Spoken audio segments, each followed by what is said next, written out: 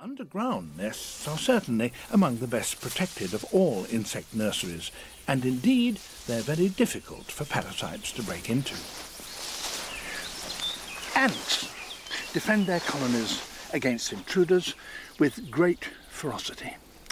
And yet here in this meadow in Central Europe, there are ants' nests where intruders live undetected, and there's one right here.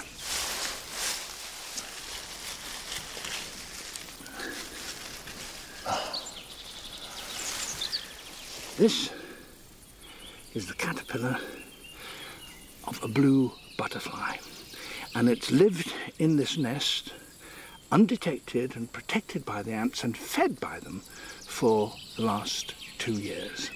Indeed, it's been so thoroughly accepted by the ants that they will try and rescue it in preference to the young of their own queen, as in fact they're doing right now.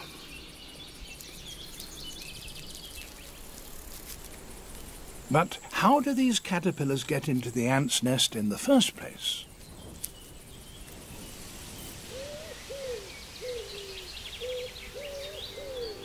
Alcon blue butterflies begin their courtship in June and July. They're surely one of the loveliest sights of a European summer as they flutter and flirt among the flowers of the meadow.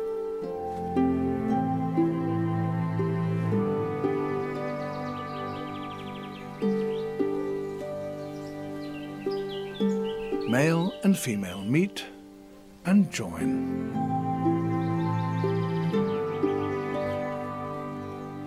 Once they have mated, the female Alcon blue must find a gentian plant.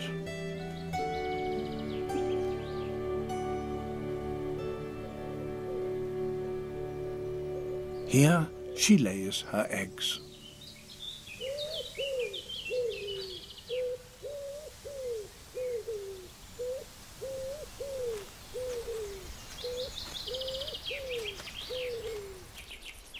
The caterpillars, when they hatch, stay feeding on the gentian for a couple of weeks. But eventually they fall to the ground. There are ants everywhere in a meadow like this, and they soon find it.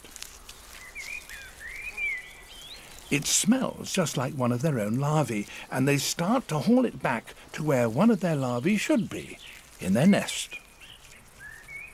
Other foragers from the same nest have found another. During the next few weeks, as many as half a dozen may be taken back to the nest.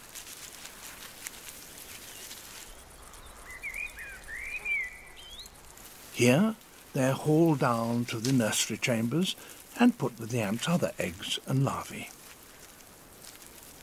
And because the caterpillars continue to produce a pheromone exactly like that produced by the young ants themselves, they're treated as if they were young ants, even though they're bigger and a different colour.